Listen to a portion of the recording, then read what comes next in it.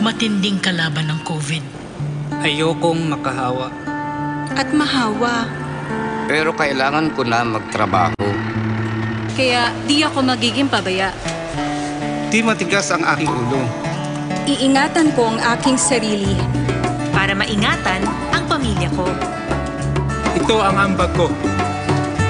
Ako, Ikaw. Lahat tayo.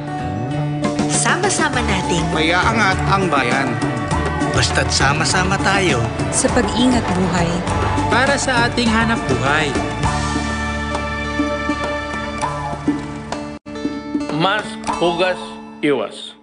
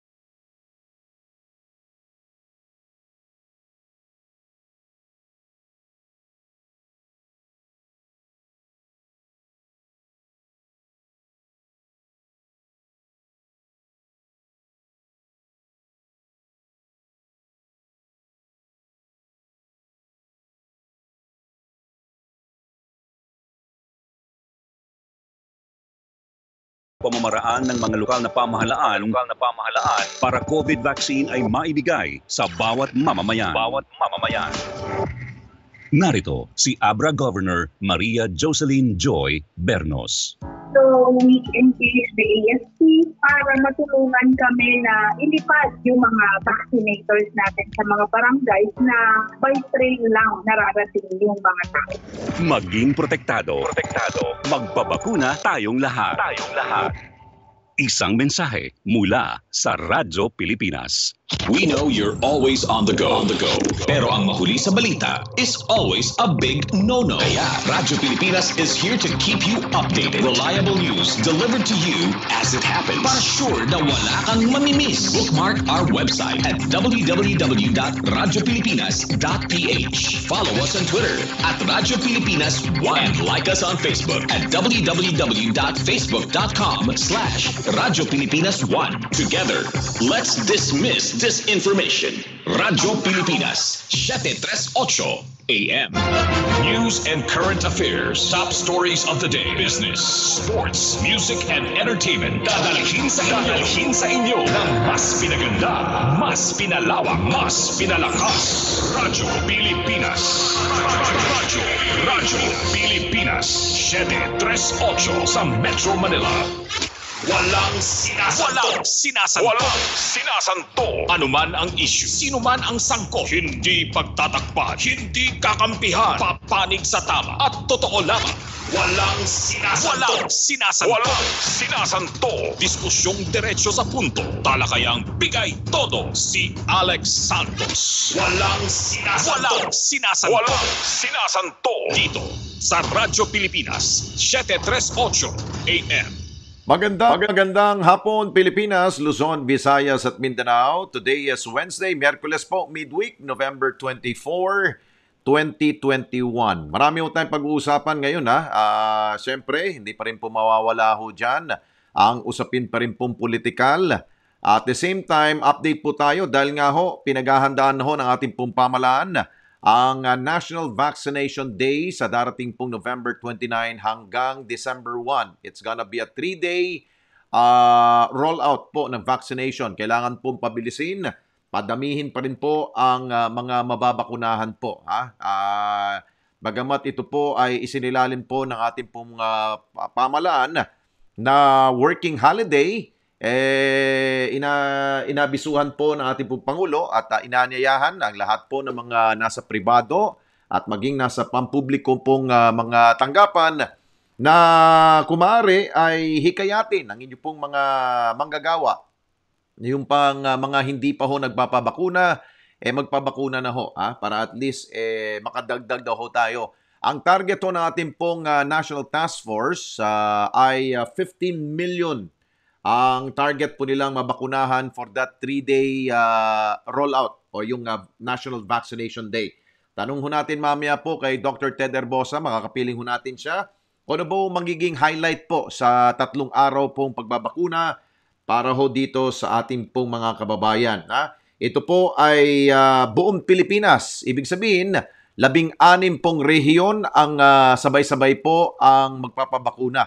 Siguro yung mga kulelat po mga regions, eh dapat kayo po ay magpakitang gilas sa ngayon, ha?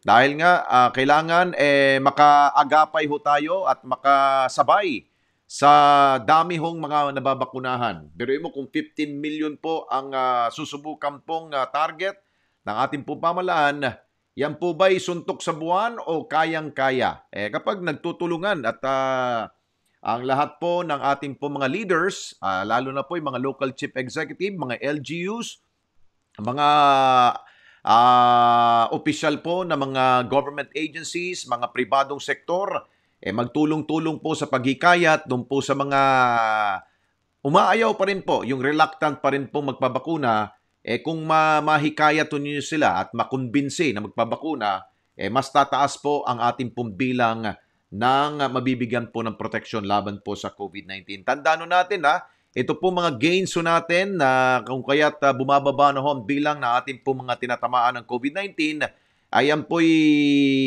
dahil po sa marami na hong mga lugar ang fully vaccinated. Ibig sabihin, narating na ho nila ang mataas pong porsyento ng kanila pong uh, population yan po sa kanila pong mga lugar. Especially po dito sa National Capital Region. Kung maalala ho ninyo, tayo po ay 100% or 100% plus na po ang mga nakapag uh, first dose at uh, higit na ho yata na nasa 94 to 95% ang fully vaccinated. Kaya po, dito sa Metro Manila, sinisimula na po natin ang ang uh, pediatric vaccination at the same time yung pong pagbibigay na po ng booster shots para sa ating pong A1, A2 at A3. Eh, doon naman po sa National Vaccination Day, eh siguro ang paghihikayat po doon po sa mga mga kababayan natin na nasa economic frontliners. Ha? Yun siguro po ang ating pong uh, target na babakunahan. So yan po ang ating pong pag-uusapan po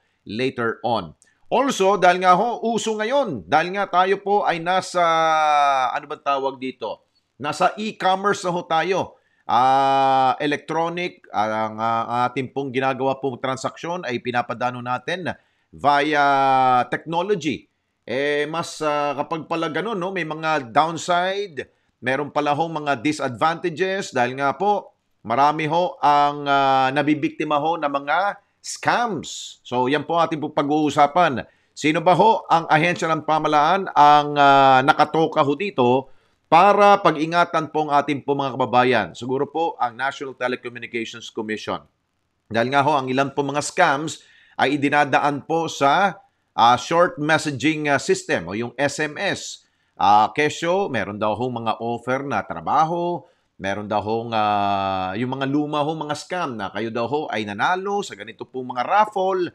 Iba't ibang pong paraan ng mga panlinlang, panloloko ng ating pong mga kababayan. Be it ah, yan po ay gawa ho ng ah, isang sindikato o di kaya yan po ay paraan ng ating pong ah, ilang sa mga kababayan dahil nga ho, nabiktima ho sila ng pandemya, eh para sila po ay makalikom ng ah, sapat na pera, eh dito ho nila dinadaan po sa panloloko, panlilinlang, ah, panggogoyo, ah, ano pa ba, pangiengganyo, o pang, ano pa ba mga term ho, pangdedenggoy. O, ang dami na ho mga term, no? Para ho sila po ay makapang ah, ah, biktima ah, sa pamagitan po nito mga scam. So mamaya, kakusapin po natin ang Deputy Commissioner po, tagapagsalita rin po ng National Telecommunication Commission, ang NTC, walang iba kundi si Edgardo Cabarrios po, ating pong makakapiling later on. Siyempre, ito pong inatabayanan po natin mga kababayan, ang usapin pa rin po sa darating pong eleksyon. At ah, dahil po sa ah, nagsalita na po ang Pangulong Duterte na kailangan ng mga kandidato daw natin sa pampanguluhan, ang pinakamataas pong posisyon sa ating pong ah, pamalaan, eh kailangan po ay malinis, ha? walang bahid. Ah, ang una hong ah, binanggit ng Pangulo, eh, kailangan hindi po ah, drug addict, hindi po user, hindi po lulong sa ipinagbabawal na gamot o illegal substance. Eh, kailangan malinis po ang kanila pong ah, pangangatawan at ang kanila pong kalusugan para they can decide, they can lead our country for a betterment. Para naman po ang ating pong eh talagang tuloy-tuloy na po ang pag-asenso. Lagi ko nga sinasabi noon, no, nung ako po ay nasa TV Patrol pa ho, ang sabi ko nga, oh, eh, Pilipinas, umasenso ka! ha?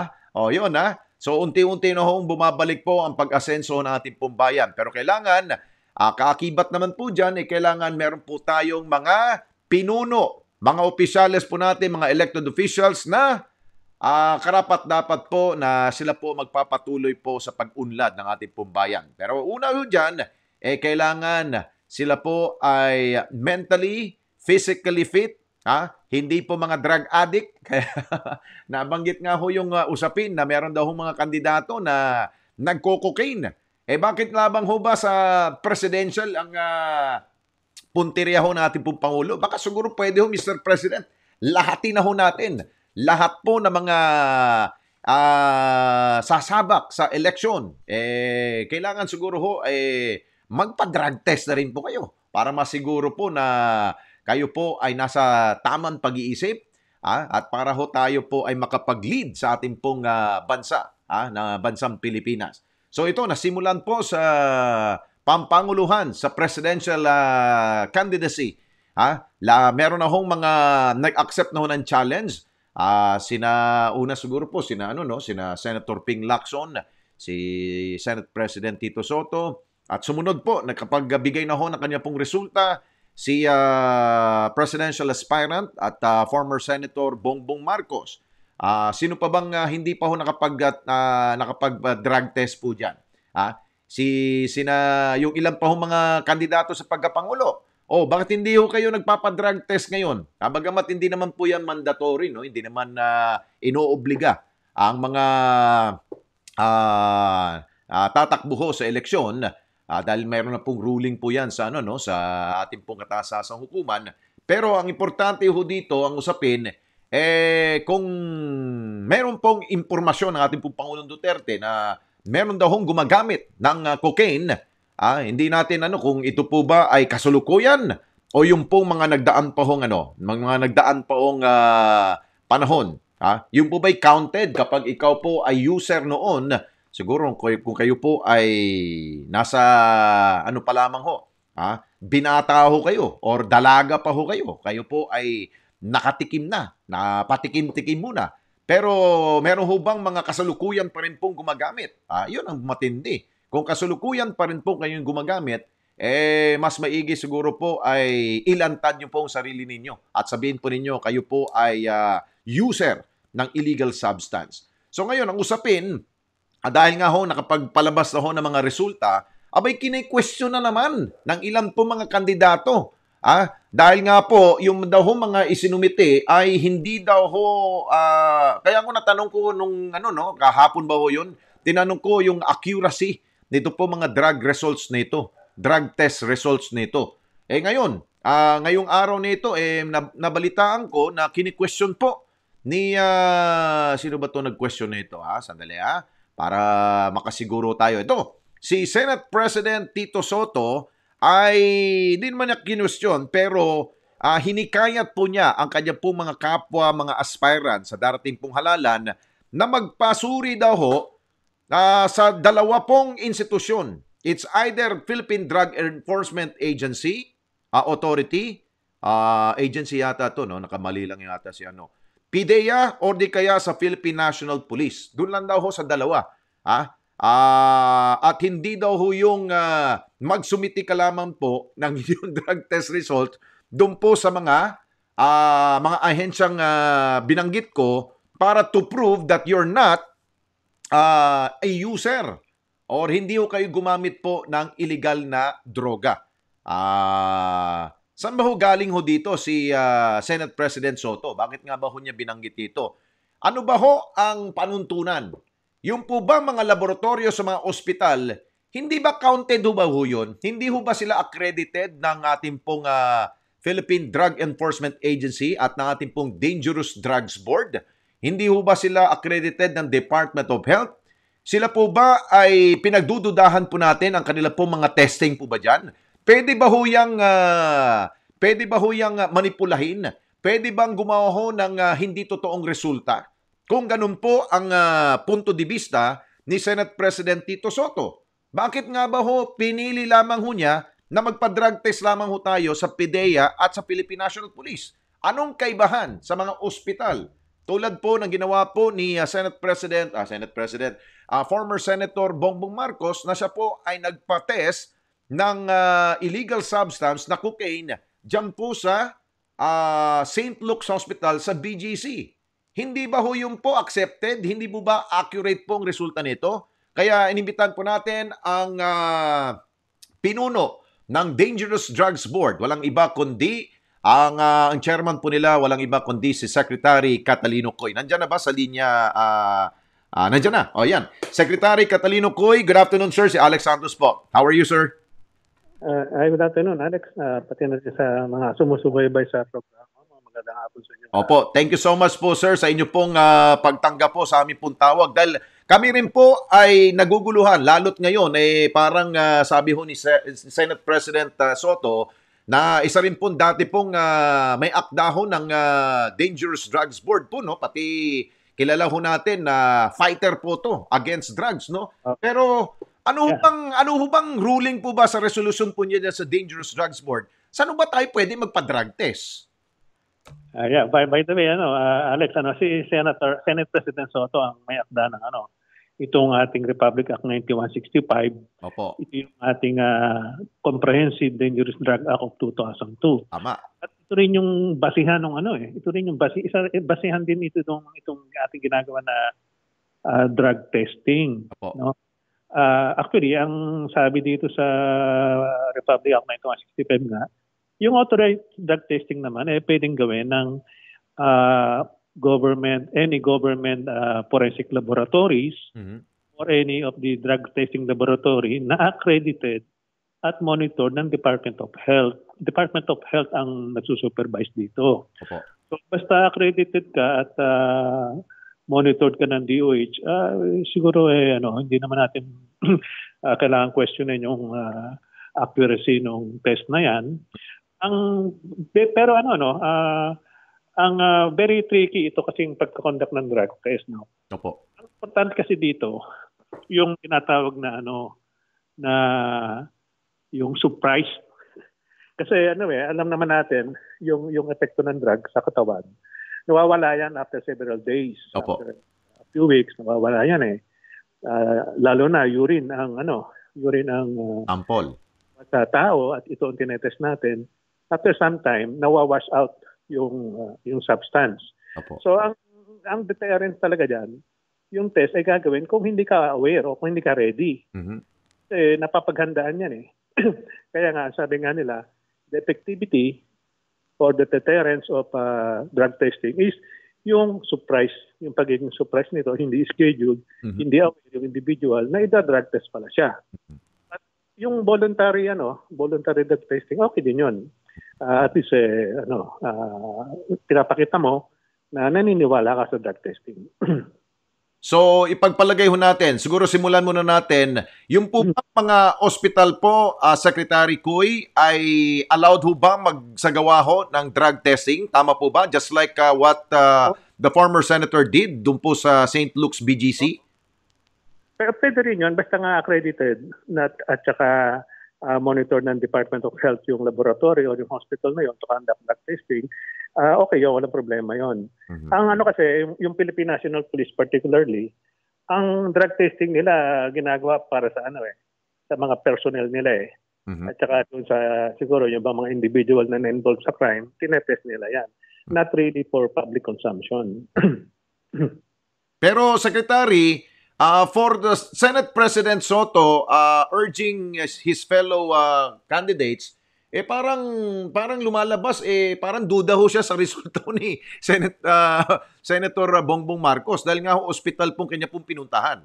Ah, ah, siguro dahil lang siguro sa ano, dahil yung PNP PDEA ay government institution kaya siguro mas mas tiwala si Senate President sa dalawang institution na yan. But ah, otherwise yung yung ano registered at saka ah, accredited ah, laboratory naman at hospital eh wala naman siguro problema kung mag-conduct sila ng drug testing. Opo, binabasa ko ho tong uh, resulta ni uh, uh, Senator Bongbong Marcos. Meron po siyang heading sa taas na Department of Health pero nakalagay po St. Luke's Medical Center Global City. At sa ilalim po niya ay nakalagay po, this is a DOH DDB ah hindi ko alam ano po to IDTOMS generated report. Ano ibig sabihin po niya na secretary? eh, mukhang ano yun eh. Mukhang stationary yan ng ano, ng hospital siguro yan. Opo. Ganyan. So, ibig, ibig sabihin po nito, sir, yung kanilang ah, ginawa pong test kay ah, Senator Marcos, pinapadalhan ho kayo ng kopya nito, sir? Parang ganun po ba? Hin- hindi, hindi kami ano, hindi kami recipient ng mga kopya niyan. Oo. Ah, ah, ang, ang, ang, ang- ano kasi yung yeah, siguro for personal use nila yung ah, drug testing na yan. Wala hindi kami ano, we are, we are not requiring anyone to submit to us yung mga reports na ganyan. Ah, okay. So wala. Pero nakalagay kasi, generated report kasi nakalagay po dito sa ah, test result po ni ah, Senator Marcos. Ah, okay. ah. Oh. So, wala hong binibigay na kopya sa inyo. Parang ibig sabihin, parang ano lang, ah, na sila ay accredited po ng DOH and DDB. Tama po ba? Ah, actually ano, D- DOH ang nag-accredit sa kanila, hindi ang DDB. Ah, okay. Wait, sila ano eh. Although ano, ang, ang DOH is a member of the Dangerous Drugs Board. Mhm. Yung ating ah, expert on health matters, ano. Kaya, uh, yeah, practically, ano rin, uh, mem- member sila ng Dangerous Drugs Board. But the DOH the- is directly, itong agency na directly uh, over dito sa mga hospitals. Okay, kung kayo po ay ah, ah, very serious po dito sa paggamit po ng mga illegal drugs, especially po sa mga drug testing na ginagawa po, are you amenable at kayo po ba ay sumasang-ayon po sa sinabi ho ni Senate President Soto na dapat sa PDEA at PNP lamang ho kayo magpates? Well, wala namang problema. Magre-request sila sa PNP and PDEA na mag-conduct ng test. Ah, although, as I mentioned kanina, ang ah, ang drug testing na ginagawa ng PNP, particularly itong crime laboratory nila, ah, is intended for ano PNP personnel, yung mga nag-apply, nagre-recruit, yung kanilang ano re- re- current ano, yung mga recurring ah, ah, ah, recruitment, ganyan, promotion, doon yun ang kanilang ano, yun ang kanilang ah, ah, mga personnel, yun ang kanilang mga individual na kina, na uh, tinetest for drugs. Okay. So ibig sabihin po nito, ah ah, ano ba hong mensahe pwede ho natin ano? ah kailangan ho ba na Ano ho bang accuracy? Ah, hindi, yung ang gusto ko po iba, ipa ano ho, ipa ipahiwati ko dito, secretary. So dapat ah, yung pagpapatest po ay random at ah, kailangan surprise, tama po ba? Eh, yun ang ano, yun ang ideal sana. Mhm. Y- yung ganyan yung random testing eh sa mga go- requirement actually ang ano no. Kasama yan sa ano eh, kasama rin yan dito sa 9165 yung pagkakandak ng drug testing Mhm. at saka dito sa Executive Order 66 na pinirmahan ni Presidente noong ah, October 2018. Opo. 2018 to eh na nag-institutionalize ng ating Philippine Anti-Drug Strategy. Yun. So kasama dito sa provision nitong Philippine Anti-Drug Strategy na to, ito nga ang pagkakandak ng random drug testing sa lahat ng ano government and uh, private uh, companies. Mga ganyan. Kasama pati private companies kasama rito eh. Opo. Ito rin yung ano eh, this is also uh, an important uh, uh, pack, uh, portion yung tinatawag nating drug-free workplace policy. Tama. Drug-free workplace policy for all government and uh, private corporation. Mhm. Actually, nakikita natin mas mahigpit pa yung private companies eh na pag-implement nitong drug-free workplace nila. Initial ano pa lang, initial hiring pa lang eh nakalagay na doon sa kontrata nila karamihan sa kanila na ito malaking offense ang kung ma-involve ka sa drugs. Oo. Ngayon, sa government agencies naman, nire-require natin na yan. Ah, at, at doon sa mga ano, no, doon sa mga uniform services, mga law enforcement agencies, meron pang ano yan, may kasama pa yung one strike policy. Mhm. Strike policy sa drug-free workplace policy. Anong ibig sabihin nun? Pag nahuli ka minsan, nag-positive ka sa random testing, eh, ano ka na? You will be uh, uh, charged with, uh, with a serious offense, uh, dismissible from the service yan. Oh, yun. Ano naman yan, ano? Bago, bago ka naman mag-conduct ng drug, uh, random testing, eh, meron naman pagkakataon yung ating mga government employee na, in- na, ano, no, na drug dependent na mag-avail ng assistance Mhm. para siya, ma-rehabilitate siya. Oho. Sagot ng ano yan, sagot ng agency yan, Yes. ipapagamot siya ah, sa rehab center kung kinakailangan. But pag nahuli ka sa random testing, eh yun ang ano, yun ang magiging open, yun ang magiging malaking ano, ah, problema. Oh, yung binabanggit po ninyo, Secretary, ito po yung Dangerous Drugs Board uh, Regulation number 13, series of 2018. Tama po ba ako, Secretary? Oh, yeah, yeah, yeah. Yun yung ano, nag- nagpo-provide ng ano, ah, random testing. So ibig sabihin ka- ah, kasama pala ho dito ang mga elective ah, officials at appointed public officers. Tama po ba? Ah, hindi naman. Yung mga local government natin, kasama din sila dyan, Mhm. they are ah, encouraged to also adopt itong drug-free workplace policy. Ngayon, ah, dahil sila yung mga leaders sa mga community na yan, siyempre, it will ah, be a very good ano ah, example for for your constituent na ano ka, nagpapatest ka rin, Mm. voluntary. So ito po ay ano ho ba? Ah, mandatory po ba drug testing ah, bilang requirement bago ho pumasok po sa gobyerno? Ay marami, oh, yan, requirement yan. Lalo na sa ano, no, uniform services, requirement yan. Oh. Kaya, kaya nga, isa yan sa mga, ano, no, isa yan sa ating mga uh, argument when we were discussing with the Civil Service uh, Commission, uh, i-adapt natin itong drug-free workplace policy at saka yung one-strike policy kasi uh, when you submit a drug uh, drug testing na negative ka, uh, uh, that is considered as a continuing requirement, continuing qualification for you to be in the government service. eh. Mhm. So, pag na-break mo yon, you, you, you make yourself disqualified. Mhm. Saka ano eh, siyempre, lalo na yung, yung mga position na tinatawag na ah, person of authority, yung ah, mga law enforcement, sa military, even teachers. Opo. Secretary ah, ng Department of Health, ah, Department of Education, agreed with us na ang teachers are considered as person of authority. Kaya ah, siya, si, si, si, ano, si Secretary Briones is uh, amenable na ah, one strike dapat ang mga teachers pag na, nagkaroon ka ng ano, drug offense. Mhm. So pero ang linawin natin natin na dito secretary na hindi naman po kasama ho dito yung mga ah, lalahok po sa eleksyon. Hindi po to, no? Ah, hindi kasi merong merong Supreme Court ano yan eh. May Supreme Court decision yan na parang ano yata un- unconstitutional yung to require yung mga candidates sa election natin na, na ano mag-undergo ng drug testing uh, it was declared as unconstitutional. Oo. Hindi na kasama yon. Okay. Hindi kasama yung mga ano, candidates. Opo. By the way, Secretary, kayo po ba sa DDB, sa Dangerous Drugs Board, meron ba kayong mga information na bagamat ah, maaring confidential po to, pero pwede ba ho ninyo i-share sa amin kung meron ba kayong mga informasyon tulad po na nabanggit po ng Pangulong Duterte na meron po mga ilang kandidato ang talagang gumagamit po ng ah, ipinagbabawal na gamot tulad po ng cocaine. Meron ba kayong mga listahan ba dyan, sir? Wa- wa- Wala kami sa DDB. Sa ano yun eh, law enforcement yan. Mhm. Ah, meron, meron silang ah, grupo dyan na nagko- na nagko-collate ng mga information na yan. Oho. Uh, sa DDB, wala. Policy, sa policy, policy making kami. Oh. So hindi ho kayo nabibigyan po ng kopya ho dyan? hindi, hindi kami kasama doon sa, ano, sa distribution yan. Ayun.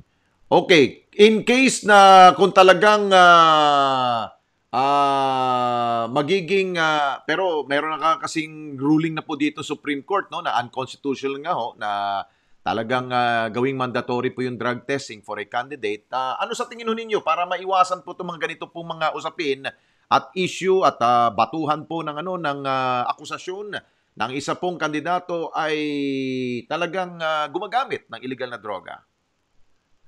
Uh, well, uh, uh, siguro maganda kung voluntarily mag-submit na lang sila para mawala na yung issue na yan. It will help somehow. At saka yung ating mga mga botante, yung public, uh, dapat maging ano sila, mapag uh, mapagmasid oh. Opo. development ano. Dapat kilalanin natin ano, kilalanin natin yung ating mga kandidato. Okay, sige po. With that, Secretary, thank you so much po for your time. Salamat po. At salamat din Alex. Good afternoon. Si Secretary Catalino Cuy po ang uh, chairman ng Dangerous Drugs Board. Ah, ang ah, ang policy making ah, agency po ng ating pong ah, pamalaan para talagang tuluyang pumapuksa po ang ating pong ah, ah, ito pong problema ho natin sa illegal drugs. So, yan po ah. So, sabi nga ho niya, mas maigi eh gawin pong ah, surprise. Oh, tama nga naman rin kasi no kung ah, talagang pinaghandaan mo 'yan, eh siguro minsan nga 'di ba sabi, oh iinom ako ng gatas. 'Di ba may mga ganon?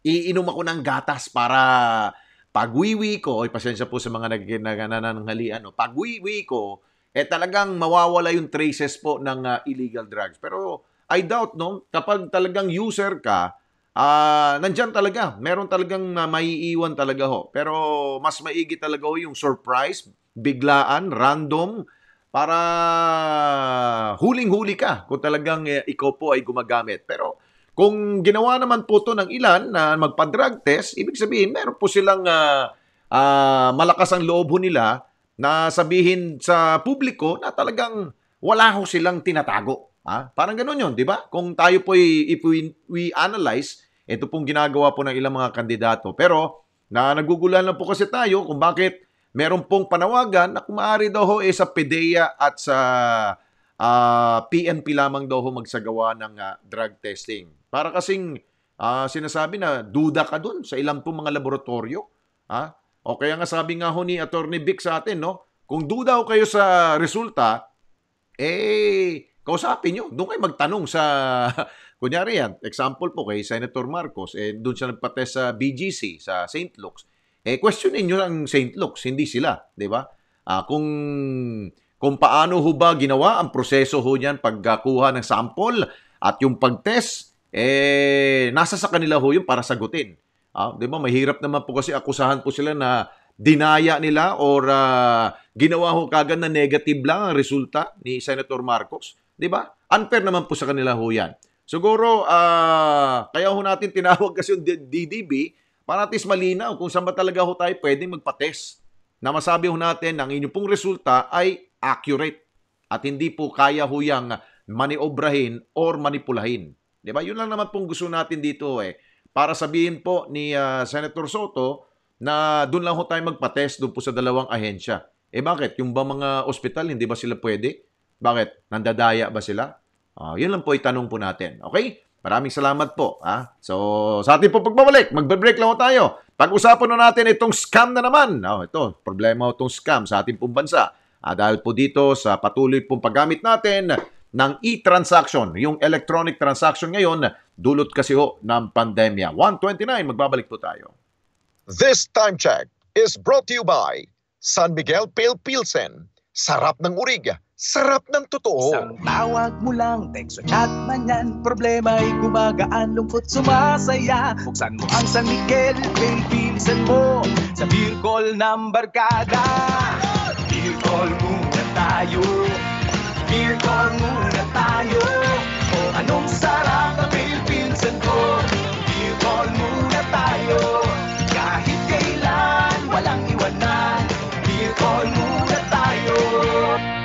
Drink responsibly. Panatilihing masaya ang paglilibang. Ang paglalaro sa kasino ay para sa may edad 21 pataas lamang. Magtakda ng oras at limitahan ang gastos sa paglalaro. Huwag magsugal kung nalulungkot. Huwag hayaang makasira ng buhay at pamilya. Para sa impormasyon ukol sa responsible gaming, tumawag lamang sa hotline 521-0957 o bisitahin ang www.pagcor.ph slash regulatory.php. Isang mensahe mula sa Pagcor. Keep it fun. Game responsibly. Niyo bang bawal magkabit ng antena sa ilalim o malapit sa linya ng kuryente dahil maaari kayong makuryente? Lubhang mapanganib yan dahil ang mismong pagtatayo ng bahay o anumang istruktura sa ilalim o malapit sa linya o tore ng kuryente ay pinagbabawal din. May kaukulang parusa ang paglabag nito. Kasama na ang pagkakulong ng hanggang 12 taon at may multa din na hindi bababa sa 50,000 pesos. Makipagtulungan upang mapanatiling tuloy-tuloy ang daloy ng kuryente sa inyong lugar at saan man sa bansa. Isang paalala mula sa NGCP. Ano ang Balik Probinsya Bagong Pag-asa Program? Layunin ng Balik Probinsya Bagong Pag-asa Program na mabigyan ng oportunidad ang bawat pamilyang Pilipino na magsimulang muli at mabuhay ng matiwasay sa kanilang mga probinsya. Paano mag-apply sa programang ito? Magpunta sa balikprobinsya.ph at i-click ang Apply button. Pila pa ng enrollment form at siguruhin kumpleto ang lahat ng detalye bago ito i-submit. Hintayin ang verification at tawag ng ahensya sa inyong telepono, mobile number, email at social media accounts. Kung sakali namang wala kayong access sa internet, magtungo at humingi ng mga kailangang dokumento sa pinakamalapit na tanggapan ng gobyerno sa inyong lugar. Para sa karagdagang impormasyon, bisitahin ang Balik Probinsya Bagong Pag-asa Program Facebook page. Mahahalagang issue, halagang issue, maiinit na balita at talakayan. Alamin sa mas pinaganda, mas pinalawak, mas mas pinalakas. Radyo Pilipinas, Radyo Pilipinas, 738 sa Metro Manila. Alex Santos. Alex Santos sa Walang Sinasanto. Walang Sinasanto. Walang Sinasanto sa Radyo Pilipinas 738 AM. Okay, nagbabalik po ang walang sinasanto sa Radyo Pilipinas sa oras na alauna 32 na po ng uh, Wednesday afternoon. Ay bago natin takala, talakayin po ang uh, usapin po sa mga scam, no? Ito, kapapasok lamang pong balita, meron po tayong na nakalap po na impormasyon na si Mayor uh, Isko Moreno. Ito, nakikita niyo sa inyo pong uh, TV screen, no? Ah, dali ha, medyo i ano natin, iurong natin konti. Yan. Siya po ay uh, sumulat kay uh, Director General Wilkins Villanueva uh, ng Philippine Drug Enforcement Agency o PDEA na ang uh, nakasulat po dito, uh, basahin ko na lang po in toto ha. Dear DG Villanueva, ito po yung sulat po ni uh, Mayor Isko Moreno who is also running for uh, the presidency this coming election. Nasabi po niya, In the interest of public service of the highest order, May I please submit myself for immediate drug testing for cocaine, shabu, marijuana, and all other illegal substances. I shall make myself personally available in your office the soonest possible, hoping for your most favorable action on the matter. Pirmado po yan ni Mayor Isko Moreno na isa rin po sa mga presidential aspirant po natin. So ibig sabihin po nito, handa rin po si Mayor Isko na magpa-drug test ha, para malaman kung siya ho ba ho yung pinupunteriya ho ng ating pong uh, chief executive. Ha? Uh, ito po ay gagamitin daw ho sa kanya ay hindi po yung ordinaryong drug testing. Ang sa gagamitin nito, parang ginamit to dito kay kanila Senator uh, Ping Lacson, no? yung uh, multi uh, multi-substance uh, testing ha? para makita po kung meron po mga traces nito pong mga ilang po mga illegal substances. So, ito na. Uh, siya yata po ang uh, pang ano na, ang tanong, kailan ho? Kailan ho ba magpapa-drug test po si Mayor Isko? Yan ang uh, malaking tanong. Baka siguro today, no, kung uh, ang sulat kasi ho niya ay uh, naka-dated ho ng uh, November 23. That was yesterday. Siguro baka sa while while we are talking now, baka nandun na ho siguro po siya sa PIDEA. Paki-check nga ho, baka nandiyan na ho sa PIDEA si Mayor Isko at tingnan natin kung ano pong resulta ho niya. Yan, parang inantabayanan po, no? Kung ano pong resulta ho niya. Ha? Ah, alam naman siguro natin, mukhang negative rin po. Bas- Basta willing kasi, kung mayroon pang willingness ang isa pong tao na magpa-drug test, ibig sabihin po, ah, lakas loob po sila na wala ako, wala ako, negative ako dyan sa illegal substances na yan. So, antabayanan po natin ang resulta na. Okay, na mga kapiling natin, walang iba kundi si Deputy Commissioner po ng ah, NTC, National Telecommunications Commission, walang iba kundi si DEPCOM Ed Cabarios. DEPCOM Ed, magandang hapon po sa inyo, sir. Magandang hapon po, ah, Sir Alex, at magandang umaga po. Ah, magandang hapon po sa lahat. Opo. Opo. Uh, DEPCOM, kayo po ba'y nagpa-drug test na rin po ba? Pinapatawa. Pinapatawa ko lang ho kayo. Opo, opo, opo. Opo. Okay, ah pag-usapan natin itong usapin po ngayon dahil marami ho sa ating mga kababayan ang na, ah, nabibiktima ngayon ho ng ah, tinatawag hong ah, scam. Ano ho ba ang ah, order ng inyo pong chairman with regards po dito sa lumalaganap pong issue ho ng ah, scam sa internet, sa sa telepono or sa anuman, sa telecommunication po natin, sir? Ah, nagpalabas po ng ah, advisory ang ah, ang NTC no? Ah, dito po. At ah, inutusan po lahat ng telco na ipadala ah, send messages sa mga subscribers na babala sa kanila na huwag ah, sagutin ah, ah, yung mga ah, text messages na yan na say nag ah, ano nagsasabi na mayroong trabaho etc whatever information na nanggagaling ho sa sa ah, number na wala naman sa directory nila. Kasi suspicious po yun eh. Oo. Especially pagka in the process na sinagot mo, etc., eh, nanghihingi na ng mga personal ah, data, personal information, delikado na po yan. At, at pangalawa, kung minsan, nanghihingi pa yan ng kuan eh, Oo. ng ah, pera, etc., lalo na. So, clear, clear, clear na uh, kuan ho yan, na, na scam. Kasi, ah, kaya ho dumadami yung mga yan. Ah, mukhang kumikita sila eh. Oh. May nabibiktima. Oho. Kasi kung hindi kikita yung mga yan, eh, hindi na nila gagawin yan. Kasi yung risk na mahuli is nariyan. Pero ang, kung wala na silang kikitain, eh, mahihinto na sila. Pero kung may kikitain pa rin at malaki pa rin yung kita, maski na may risk na mahuli, eh, tuloy-tuloy pa rin kasi malaki kita. Oho. Pero DEPCOM, sa tingin mo ba ninyo, is it easy to say na meron ho bang mga sindikatong gumagawa yun dito sa Pilipinas? Ah, well, ang ang ah, findings po kasi ng National Privacy Commission, eh meron daw yatang ah, foreign na kuan na nang nambibig is missing po naman 'yon. Yung kumukuha ng mga ah, personal information na ah, ginagamit yung SMS kasi is missing siya mobile ah, mobile network. Opo. So, ah, ang sabi nila based on their findings ay ah, meron daw yatang foreign group na na na, na involved. So uh, uh, yung investigation nila is still ongoing. So hintayin po natin yung result noon. Opo. Uh, pero yung iba, yung job, etc.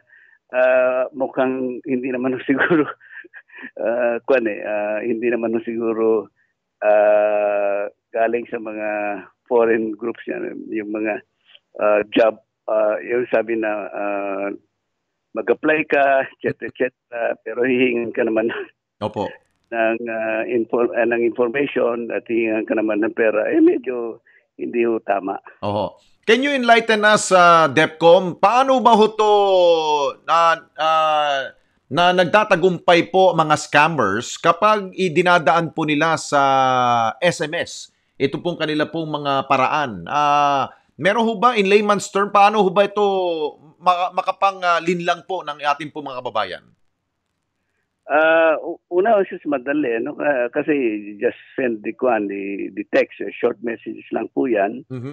ah, sasabihin sa sa may-ari ng phone na may available na trabaho, ah, mag, mag-apply ka, ganito ganon.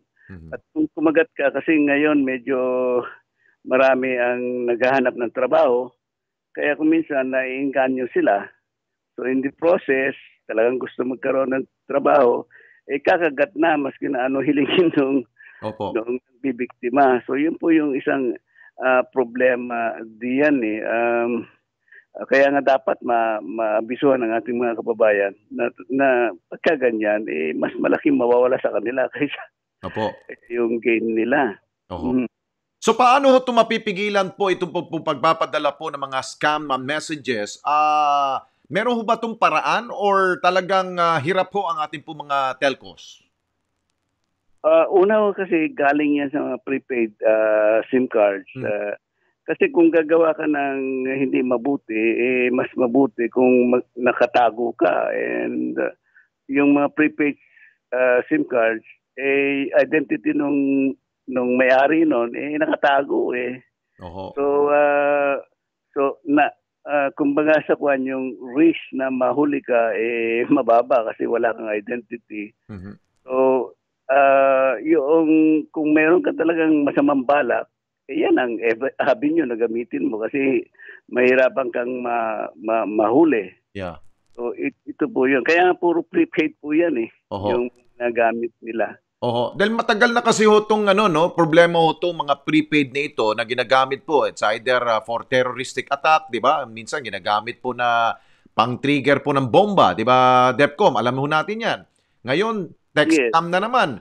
Ah, ano ho possible ho dito? Dapat ho ba ang ah, ating po mga mambabatas eh gumawa ho talaga ho ng batas para ho ito po mga prepaid ah, SIM cards eh talagang mapa-register na ho ba?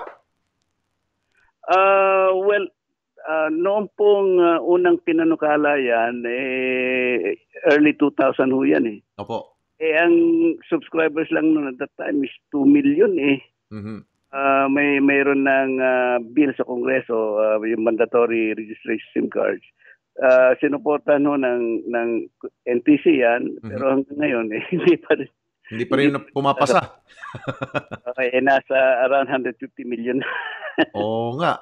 yung mga SIM cards, active SIM cards po. Oho. So ano mangyayari ho dyan? So pu- ano lang ho tayo, ang NTC ho ay pakiusap lang sa mga telcos na abisuhan ng ating po mga subscribers. Ganun lang ba ho ba yun, sir? Pa- Paano titigil ho yan?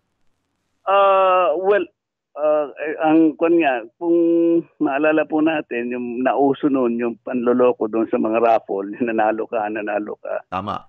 Pero ah, nag-advisory din doon na huwag kayong maniwala dyan, etc., etc., etc. So, ah, naging kwan ho yun. ah, ah, ah, ang ginawa ng tao, marami hindi na naniniwala, etc. Kaya, ah, nabawasan ho ng gusto yung yung mga nanloloko, yung mga raffle-raffle. Nabawasan ho ng gusto yan eh. And because wala na silang ah, kinikita dyan, eh, talagang uh, huminto yung karamihan dyan. Ano? Ah, kung meron man, kukunti na yan, baka meron pang kumikita ng konti. Yeah. Meron, meron pang nadedenggoy, sir, no? Parang meron pang na, nabibiktima. Meron, pero ah, malaki na bina, binawas niyang ah, mga raffle na yan. Ito na naman ngayon, pumasok itong mga to, kasi yung yung trabaho eh, yung kasi yung yung, ah, yung gusto ng maraming Oho. marami So- natin kabayan magkaroon ng trabaho eh. In short po, DEFCOM, ah aantay na lang ho natin na it will just die a natural death, parang ganon. Ito, matigil na lamang po ito kapag wala nang pumapansin. Well, that's one way of of doing it. Um, uh, magmi-meeting po ang, ah, ang ang ang commission at iba pang agencies sa mga telcos. Titignan po kung may ibang paraan eh para ah, ah, mabawasan kung hindi man mawala tuluyan itong mga to no. Ah, ah, anong gagawin sa mga prepaid ah, ah, SIM cards? Baka kung may paraan eh Opo. na ah, ma- malaman kung saan yan, Mhm. kung ah, kanino yan. Ah, from the time na bumili ng ah, prepaid SIM cards, baka magkaroon ng kwan. Or ah, habang ginagamit yan, baka din magkaroon na, may, may ma-identify na paraan para malaman yan kung ah, saan yan, etc. Oho. Siguro, Ah, pag-uusapan pong mabuti yan kung baka may mga paraan na magagawa. Sige po. Okay, ah, panghuli po, DEPCOM, hingi lang kami ng update po. Ah, kumusta na po ang ah, ang mga speed po natin sa ating pong mga telcos? Ah, gumanda ho ba o pumangit lalo? Ah, gumaganda po siya, gumaganda. Tumataas po yung ating ah, base po sa Ookla reports. ah, tumataas po yung yung average speed, no? Ah, tumataas siya Ah, maski na yung fix at saka yung mobile. Tumataas po pareho 'yan. So ah, maganda po 'yan. So habang ah, dumadami kasi itong ating mga infrastructure ah, yung telcos na nagbibuild ng infrastructure nakikita naman din nila yung kung ano, yung ah, demand. Lumalaki po talaga yung demand na yan. So, ah, yung capacity dapat ah, dagdagan nila ng dagdagan, dagdagan ng dagdagan ah, para hindi na ho bumagal. Continuous pataas ng pataas ang average speed. Ah, ang kagandahan ko si- kasi niyan, sa fix kasi maraming mga telcos, eh, infrastructure providers na na, na nagtatayo ng mga fiber ah, networks kaya yung ating ah, speed sa fix ay mataas ah, doble o triple doon sa mobile. Ah, ang problema kasi sa mobile yung ah, pagtatayo ng mga mga ah, cell sites at ah, ah, kasi dapat marami po yan para to increase ah, capacity. So it it it, is, it takes time ano to to uh, to to build the cell sites. Kaya nga ah, minamadali yung mga yan. Tuloy-tuloy ho naman yung uh, pag-build nila ng infrastructure, cell sites, etc. Uh, bumibilis po yan. Kaya nga pat- patuloy ang pagtaas ng ating speed maski na tumataas ang ah, users. Ah, internet users natin tumataas. Ah, kasi pagka steady po yung capacity at tumaas yung subscribers mo, users mo, bababa eh ang average speed. Pero tumataas ang average speed, ah, maski na tumaas yung ah, internet users mo, ang ibig sabihin, yung capacity increase ay mas mataas kaysa yung ah, pagdami ng ah, users natin.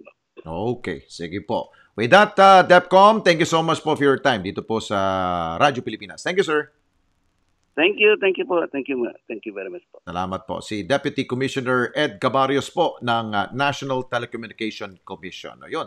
O sa ating po pagbabalik, pag-usapan natin itong National Vaccination Day. Tatlong araw po to na gagawin po natin pong pamalaan para mas dumami pa ang mababakunahan. In a short while, 1.47 na po ng hapon. This time check is brought to you by San Miguel Pale Pilsen. Sarap ng urig, sarap ng totoo. Panatilihing masaya ang paglilibang. Ang paglalaro sa kasino ay para sa may edad 21 pataas lamang. Magtakda ng oras at limitahan ang gastos sa paglalaro. Huwag magsugal kung nalulungkot. Huwag hayaang makasira ng buhay at pamilya. Para sa impormasyon ukol sa responsible gaming, tumawag lamang sa hotline 521-0957 o bisitahin ang www.pagcor.ph slash regulatory.php. Isang mensahe mula sa Pagcor. Keep it fun. Game responsibly. Tawag mo lang, text o chat man yan Problema ay gumagaan, lungkot sumasaya. Buksan mo ang San Miguel, pay pinsan mo. Sa beer call ng barkada Beer call muna tayo. Beer call muna tayo. O anong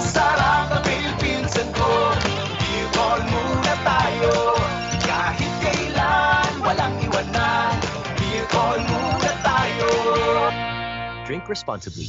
Hashtag ID natin, ang ID ng Pilipino. Gusto mo ba ng valid ID na libre, digital at pwedeng gamitin for life? Kung oo, ang PhilID ay para sa iyo. Magparehistro na ngayon sa PhilSys o Philippine Identification System. Para simulan ang inyong registration, bisitahin ang PhilSys website sa register.philsys.gov.ph. Ito na ang PhilSys ID natin to Sa ID natin tuloy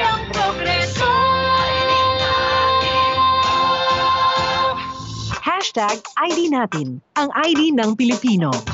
Isang paalala mula sa PSA, PCOO at ng Philippine Broadcasting Service. Sabi ninyo, wala namang nagawa. Sabi ng iba, wala namang natulungan. Eh ano ang sinasabi ng mga ito? Sa programa ito ng Pangulo po, malaki ang naitulong sa akin. Nakapagtapos na po yung tatlo kong anak sa tulong ng Purupit. Tagal na namin hinihintay yan. Eh. Bigla, nung maging Pangulo si Pangulong Digong, isang ganun lang, oh, magiging libre na ang patubig natin. So tuwan-tuwa po yung mga farmers. Na-diagnose po ako ng stage 3B rectal cancer. Napakalaking tulong po sa amin yung paggamit ng PhilHealth. Ilan lamang ito sa mga pamana ng pagbabago. Ito ang Duterte Legacy. Alex Santos. Alex Santos sa Walang Sinasanto. Walang Sinasanto. Walang Sinasanto. Sa Radyo Pilipinas. 738 AM. Nagbabalik po tayo dito po sa Walang Sinasanto sa Radyo Pilipinas. We have five minutes to go. Kausapin po natin si Dr. Ted Erbosan, Special Advisor po ng ating pong uh, National Task Force. Dr. Ted, good afternoon, sir. Good afternoon, Alex, and good afternoon sa mga tagapakinig sa iyo sa Radyo Pilipinas. Opo, Dr. Ted, pag-usapan natin itong 3-day na gagawin po natin National Vaccination Day. Ano bang target ho ng NTF dito? Isabi ho ng Pangulo, 15 million. Ito po ba'y doable po ba, sir? Oo, oo naman, no. Uh, sinet na maka-target, uh, intentional 'yan, no.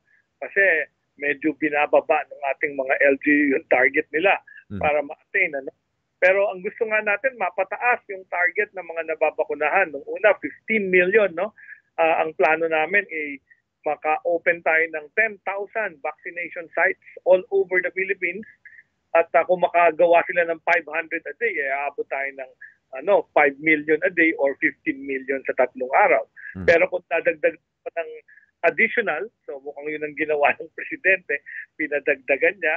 So parang sabi niya 20 million ang hahabulin natin para mabakunahan natin yung mga hindi pa napapakunahan at yung mga naghihintay ng second dose at yung mga kailangan ng booster shot. Opo. Uh, linawin natin dito, Doc Ted, ito po ay para ho ba to sa general public na ho ba itong National Vaccination Day?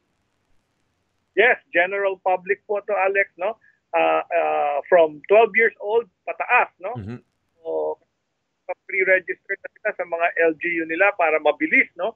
Mm-hmm. Uh, although tatakin ang utos ng presidente, basta pumunta ka sa vaccination site at available ang bakuna, ay uh, ibabakuna sa'yo. Pero syempre, mas maganda, mas matatagalan ng registration kasi titingnan kung nakapakuna ka na ba, ito ba uh, first time mo, second time, o third time. So mas maganda, naka-register ka na Mhm. para bumilis din ang proseso at hindi masyadong mag-traffic dun sa dami ng mga gusto magpabakuna sa mga araw na yan. Opo. So ito po ay hindi lamang po trabaho po ng gobyerno, ito po ay katuwang rin po ba ninyo dito ang ating po mga private sector?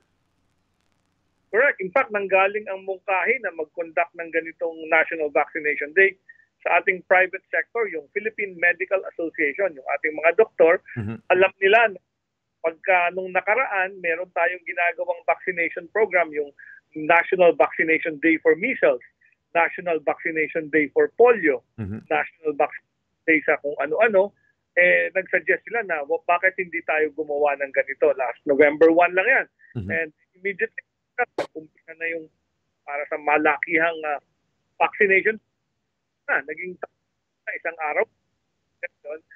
Sabi natin, bakit eh, tuloy-tuloy na araw. And, at ina inaya, no?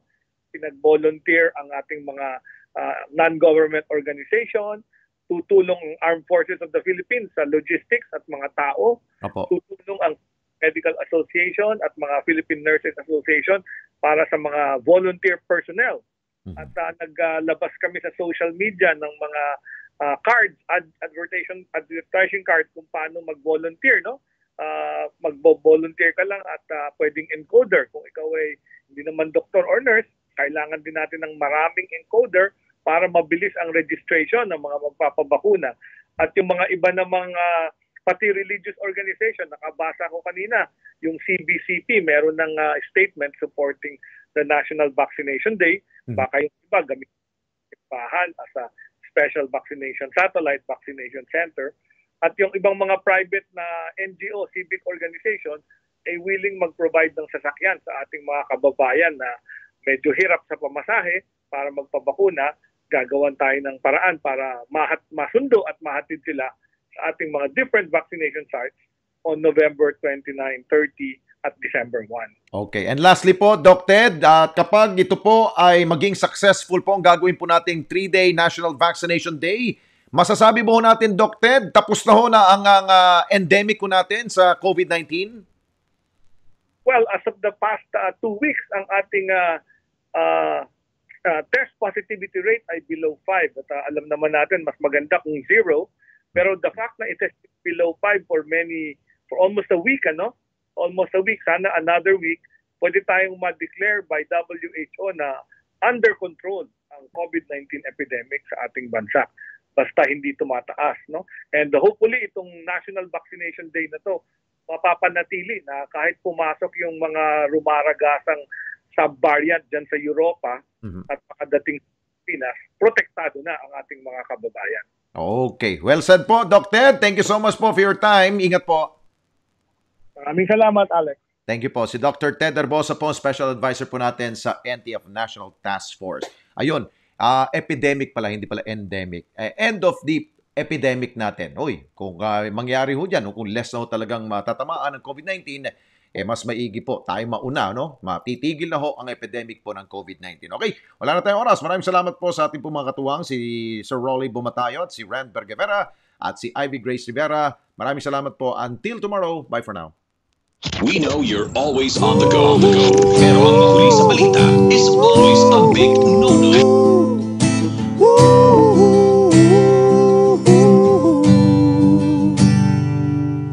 Di ka umaatras sa sakit na marahas Kailangan mong magpalakas para sila'y mailigtas Buwis ang iyong buhay, handang matanggap pag ika'y mamatay.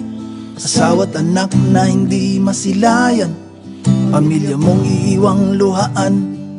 Masdan nyo ang mundo. Isipay mulat Magigising lahat Paglaban nyo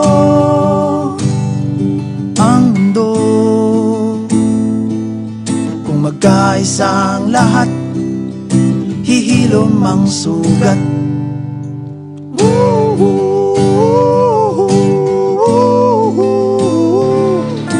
Matinding kalaban ng COVID. Ayokong makahawa. At mahawa. Pero kailangan ko na magtrabaho. Kaya di ako magiging pabaya. Di matigas ang aking ulo.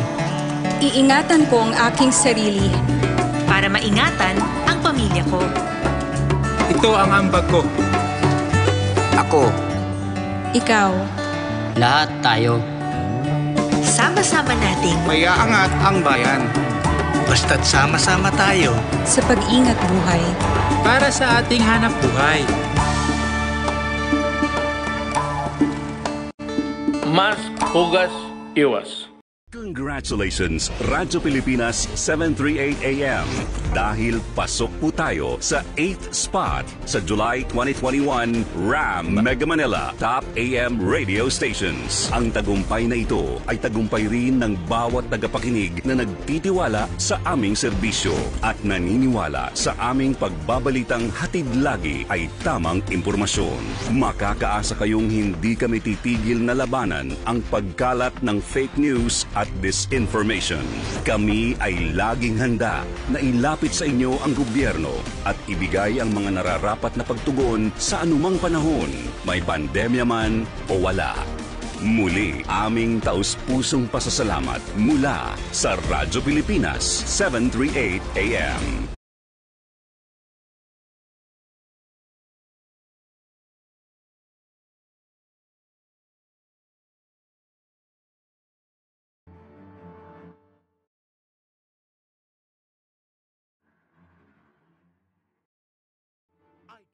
Advocacy TV. Kasama si Alex Santos at DILG Undersecretary RJ Echeverry. magsisimula na at mapapanood tuwing lunes at webes ng gabi dito sa PTV.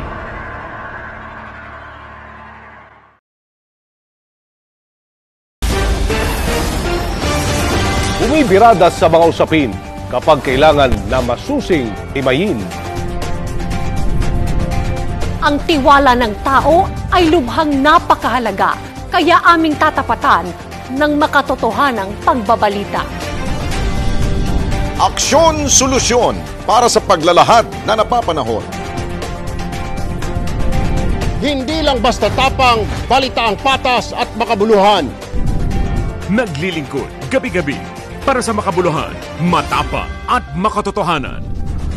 Ulat Bayan!